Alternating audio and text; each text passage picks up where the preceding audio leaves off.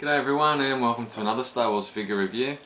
Uh, next up for you today I've got a really nice figure to show you and that's the 12 inch Sand Trooper from the Collector Series.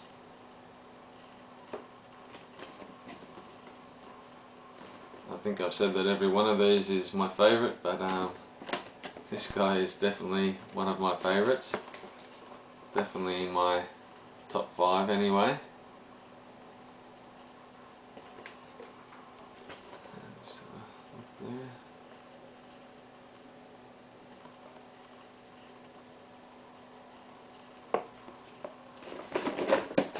Of the box now. Really, really pleased with this figure when I got it, and I still love it just as much now as the first day I got it.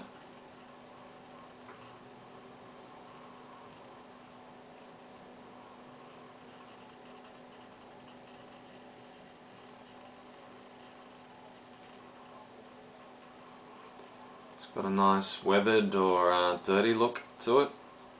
Sandy look to his armour. I think it's been done rather well.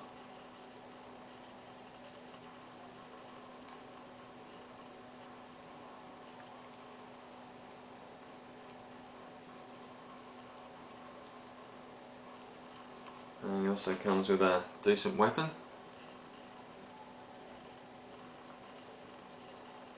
Nice and sturdy.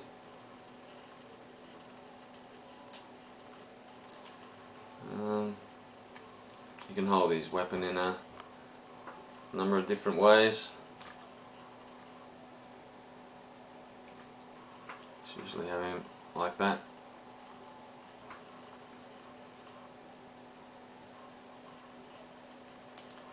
You can have him hold it in both hands as well. Really well articulated this guy.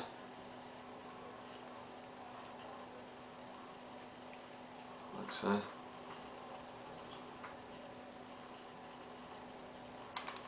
Um, just run through his articulation now. He's got the swivel neck and also a swivel waist. Actually it looks like a ball jointed waist actually. It moves forwards and backwards as well as, as well as left and right which is pretty cool. Um, his backpack is removable.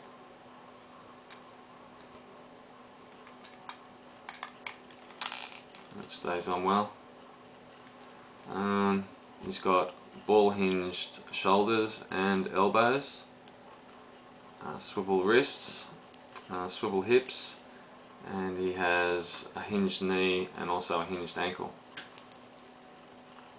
So um, couldn't have done much better in the articulation department. You can get him in some really cool poses. And I just think he looks pretty movie accurate. And like I was saying before, it's definitely one of my favourite 12 inch figures. And I'm definitely going to give this guy 9.5 out of 10. Couldn't have really been much better at all. Uh,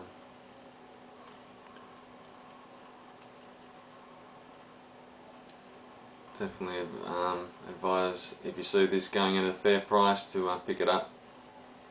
It really looks good when you get you know the Stormtrooper, the Sand Trooper, TIE Fighter Pilot and Darth Vader and a whole of them together it's quite a impressive display.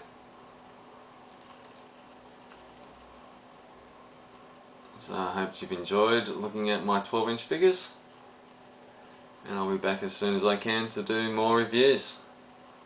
So until then, all the best to you and may the force be with you.